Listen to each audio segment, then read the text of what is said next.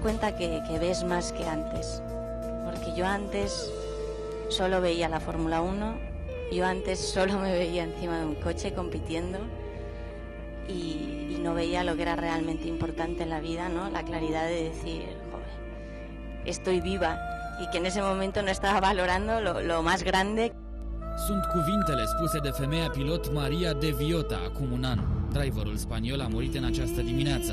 A fost găsită fără suflare în camera ei de hotel. În iulie anul trecut, în Marea Britanie, Maria a suferit un accident teribil în timp ce testa pentru Formula 1. A intrat cu 300 de km la oră într-un camion parcat lângă pistă. A suferit răni grave la cap și medicii nu i-au putut salva ochiul drept.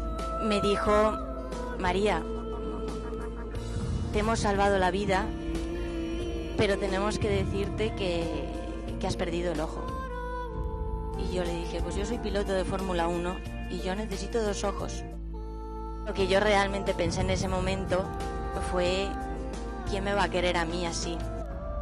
Maria de Viota avea 33 de ani și, culmea ironiei, urma să-și lanseze în Spania cartea autobiografică intitulată Viața este un dar. Primele informații sunt că pilotul spaniol a murit din cauze naturale. În camera de hotel nu s-au găsit substanțe care să conducă la ideea unei supradoze.